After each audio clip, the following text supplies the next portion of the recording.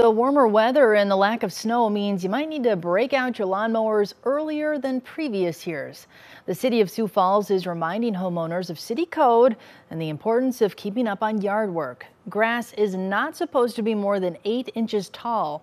City code also specifies noxious weeds must be kept under control. Avoid uh, the violation, right? That if, if your, if your lawn does get to be over eight inches in height, uh, chances are someone's going to call us.